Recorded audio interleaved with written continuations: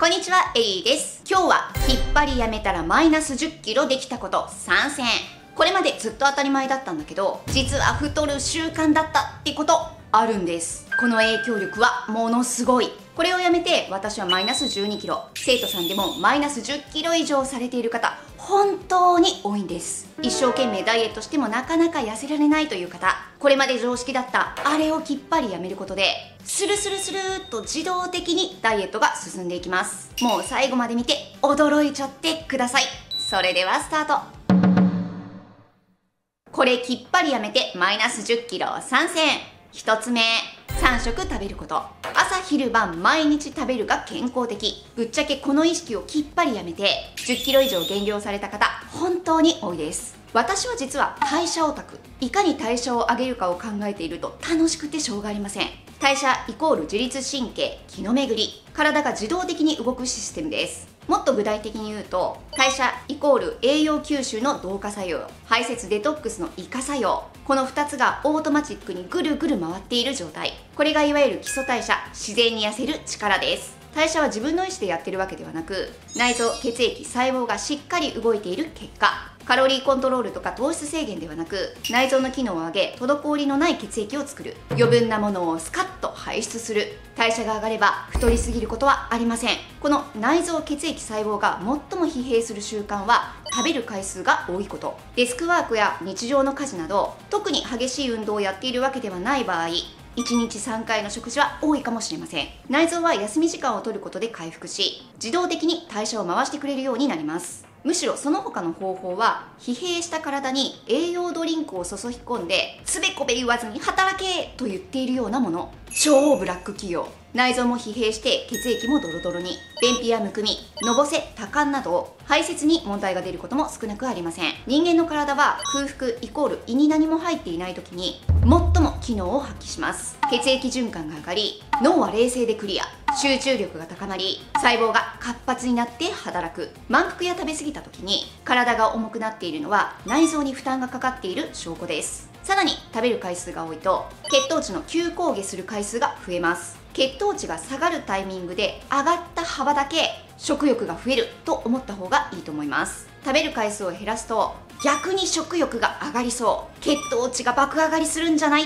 という方朝ごはんを温かい無糖の液体に変えてみてください。朝の食べ方でめちゃくちゃ変わります。血糖値は朝一で上がった幅が1日の上昇幅になります。最初の1週間くらいは慣れていないので結構お腹が空くと思いますがその後アメージングレベルで食欲が収まります。そして忘れちゃいけないのがその時間。内臓は休んでいるということです。代謝を回す主役はしっかりと休憩を取ることができるので食べたものをしっかり栄養に変え余分なものを全部排出できるようになる。特にダイエットは排出機能がだだ下がりして体に溜め込まれている場合が多いです。実は生活習慣病も排出機能の低下が招いていることが多い。朝無糖の液体に変えたら全てがまるっと収まる。これなら絶対にやった方がいいですよ。内臓を休める時間を取る。一番簡単な方法は朝ごはんを具なし味噌汁に変えること。だし粉または鰹節にお味噌を入れてお湯を注ぐだけです。200ml くらいでいいと思います。これで胃に重さが加わって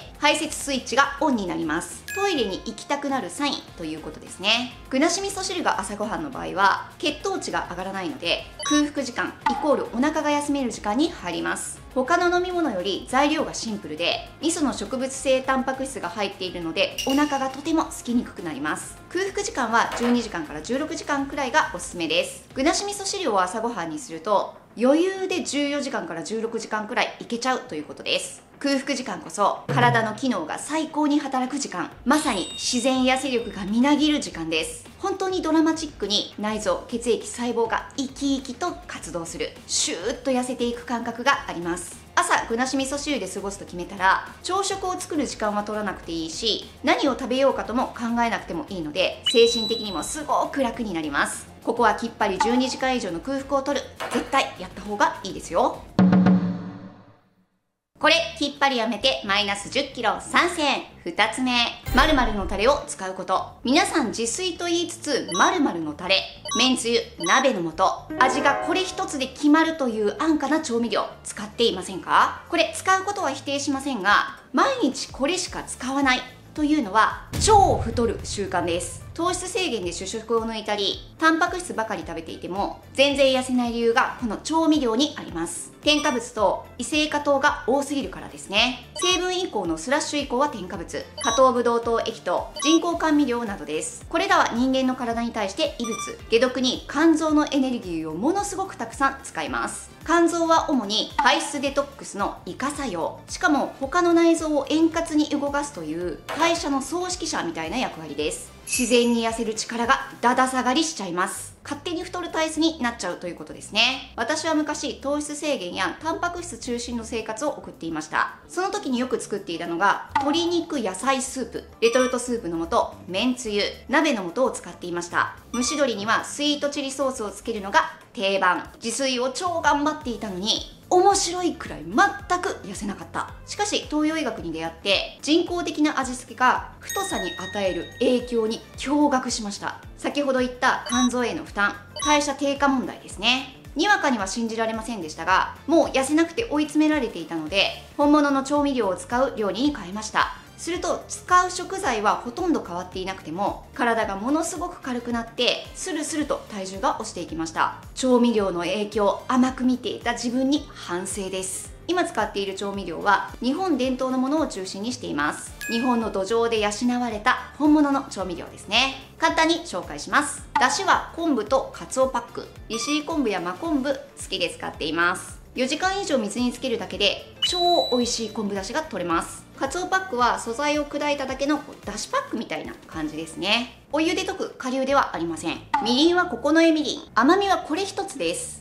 冷たい料理に使うなら小鍋に入れて90秒くらい沸騰させて煮切りみりんにするとシロップみたいな甘さになります。醤油や味噌も国産大豆で天然塩でできた自然発酵のもの。ここに書いてあるもの以外使ってないというイメージですね。なんか超こだわっているように見えますが普通にスーパーで売っています。醤油は瓶詰めのものが多く味噌は空気穴が開いているパッケージが多いです。ちょっとグレーですが化学調味料無添加の鶏ガラスープも週12回使っています。同じ料理をする手間ですが用意する調味料で全然代謝自然痩せ力が変わってきます。本物の調味料は人工的な調味料の刺激的な食欲を増やす味覚をリセットします。ストレスコントロールをしている肝臓にも負担がかからなくなり暴飲暴食が少なくなります。そしてお料理が抜群に美味しくできるようになります。日常の料理はとてもシンプルですがそれが超幸せ。楽しむ日に外食でシェフが抜群のスキルで作ってくれたお料理を堪能する。これが私の幸せでもあります。是非参考になさってください。3つ目の前にお知らせです。現在2冊目の書籍、自然痩せ力が絶賛発売中です。エリーの養生ダイエットの全てをイラスト入りで解説しています。全国書店でぜひチェックしてみてください。これきっぱりやめてマイナス10キロ参戦。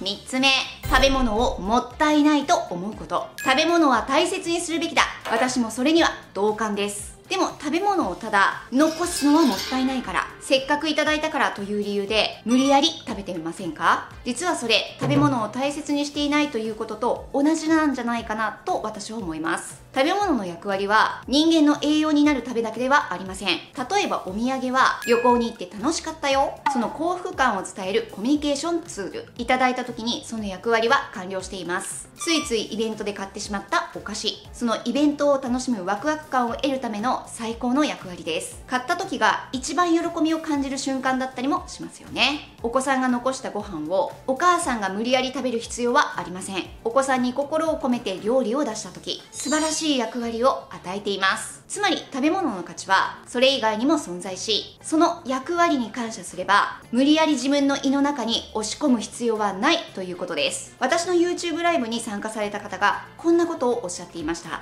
お腹は食べ物のゴミ箱じゃない。もう本質を捉えた名言だと思います。食べきれないもの食べたくないものは感謝して手放しましょう。食べ物を本当に大切だと思うなら食べ物に与えられた役割を考えてみましょう。それを考えた結果食べずに手放してもいいのではないかと私は思います。食べ物の役割を考えると無駄買いが少なくなって結局自分の手元にある食べ物の量が最適になっていきます。毎日の食事で太ることに怯えたり食欲に悩まされたりお腹の重さに苦しむことが少なくなります。この意識を最も簡単に感じられる方法はキッチンの片付けです。賞味期限切れのもの添加物たっぷりの調味料お土産でいただいたお菓子一度きれいに整理されると一気に見える世界が変わります。ぜひ参考になさってください。はいいかがだったでしょうか？このチャンネルでは心と体の変音をテーマに東洋医学の養生をベースにしたダイエット方法や美容整体のマッサージやストレッチについて詳しくご紹介しています。チャンネル登録もぜひよろしくお願いします。本日も最後までご覧いただきましてありがとうございました。また次回の動画でお会いしましょう。エリーでした。